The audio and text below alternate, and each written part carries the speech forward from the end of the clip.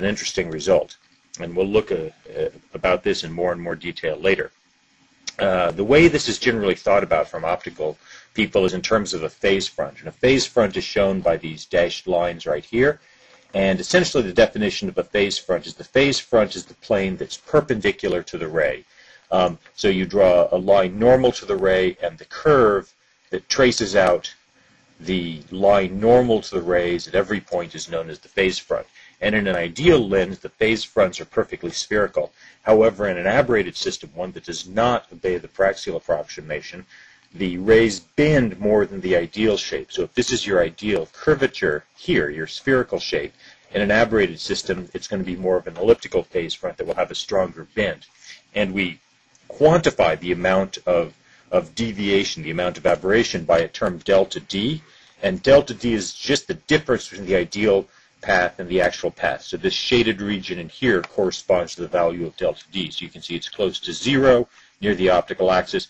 Delta D gets very large as you move out, uh, move out further away from the optical axis. Again, this is shown perhaps a little bit better in this, this image here, where the black dashed line is the ideal phase front and the red dashed line is the aberrated phase front that you're actually going to get.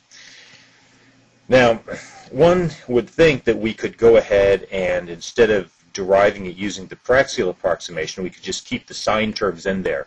But you don't come up with an analytic solution for the lensmaker's equation by doing this. You can bust your head against it and spend a lot of time doing math and trigonometry and algebra, but you'll find there is not an analytic solution.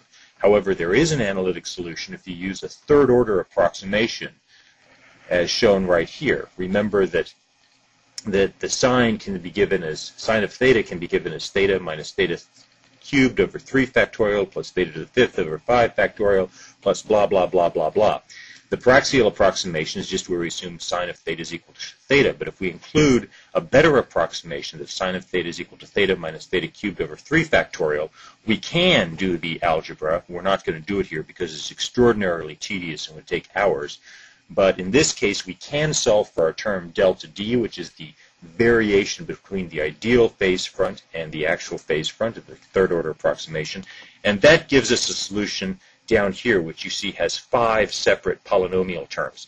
And we're going to take a look at this very carefully in the next couple of days. But as we end here, I do just want to give you sort of a view of what these five terms correspond to. Um, the sum of terms of these five terms is the difference between the ideal behavior and an actual aberrated system. Again, we're solving for delta D right here. And we, the five terms are known as spherical aberration, coma, astigmatism, field curvature, and distortion. We'll, again, look at a physical picture of those in the next lecture. But let's go through these and, and look at the terms in this big, long equation because you see there are a lot of terms that, that are not really uh, straightforward and we haven't explained yet. Each term of this equation has a scaling factor of this form right here out in front of it. You can see for spherical aberration, this term is 0, C for 0. And the size of this scaling factor, the actual numerical number, depends on the specifics of the lens. This number is different if you use a different glass, if you grind your lens with a different curvature, and so on and so forth. Um, and so these are numbers that it's beyond the scope of the class to determine, but it's a number that says how big each of these different types of aberrations is uh, for a particular lens. You also see in here that almost all of these have a r in it, r to some power, r to the fourth, r to the third, r to the second. And r is just how far out from the center of the lens right here the rays hit. Let's go and look at that. So right here is our value r. If the rays come and hit out here, uh, the aberration for the rays that hit at this point is going to be proportional to some power of r. Um, you see that a lot of these terms also have other uh, factors in them, which is h sub i in this equation. Um, this h sub i is the height of the image, and remember the, the height of the image is simply the magnification times the height of the object. So it's this actual distance right here.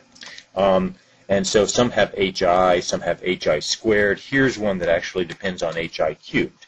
The final thing you see in this equation for the difference between a perfect system and aberrated system is a term cosine of theta.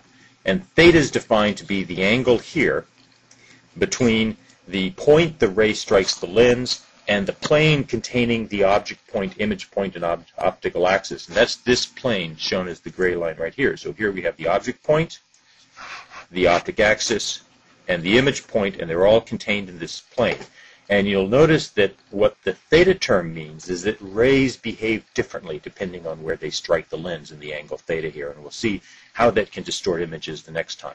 So this is a brief introduction to aberrations, which we've expanded by taking a third order approximation into a five term equation that has power laws consisting of a, a scaling factor depending on the lens, r to some power, hi, the image height to some power, and cosine of the angle theta to some power.